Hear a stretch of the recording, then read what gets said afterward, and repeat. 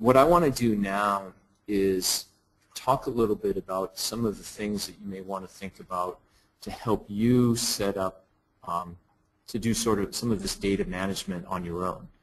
Um, and again, as I said before, if I were teaching this in a classroom situation, I would have you all at computers trying to do the work. Um, and what I'm hoping is that some of you will come back to this presentation and follow through and, and try to uh, implement some of the strategies that I'm going to introduce you to today.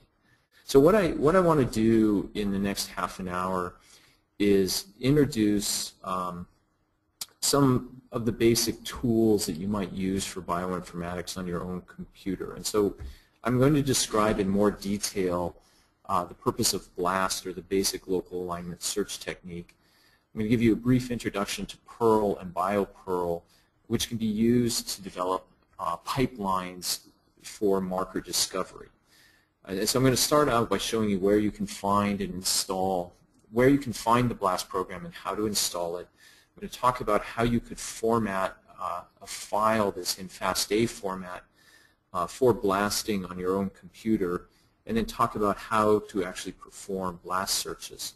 And then following that, we're going to talk a little bit about uh, Perl and BioPerl and how those can be used to parse blast outputs to make um, to make uh, sifting through the information easier. Okay, and so what I'm trying to describe in this slide are some of the different approaches that you can take to set up a computer to do this kind of work. Uh, and what I really want to emphasize, I guess, gets at the, the heart of Jay's question about um, whether these distributed resources are always going to be there or whether we need to figure out how to do some of it on our own. And uh, my own opinion is that the distributed resources are going to remain largely intact, but there's some specific questions that we may want to ask of, of data related to our own projects that we will have to ask using in-house approaches.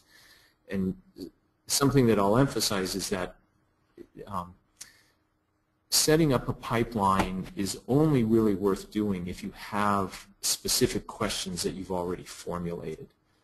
Um, what I'm trying to demonstrate in this slide is that, you know, at the, at the back of um, this, that we have a number of resources that are external resources, either the NCBI, SGN, some of the metabolic cycle databases that are populated with information. Um, however, we may want to extract a small part of that information in order to address specific questions. What I'm illustrating in the gray are some of the approaches that can be used to do that. So versions of BLAST are available to work within a DOS environment, so within a Windows environment as an example, um, as are versions of Perl and BioPerl. So you can do this all on a DOS machine. Um, another approach is to install a Unix emulator on your DOS machine and then bring in a version of BLAST that works with Unix and a version of Perl and BioPerl that work with Unix. Um, or you can just shift over to a Unix machine, period. Right? So for those of you that are Macintosh users, you may or may not be aware that when you're using a Macintosh, you're actually using a Unix-based machine. And so the, term, the terminal on a Macintosh is a Unix terminal.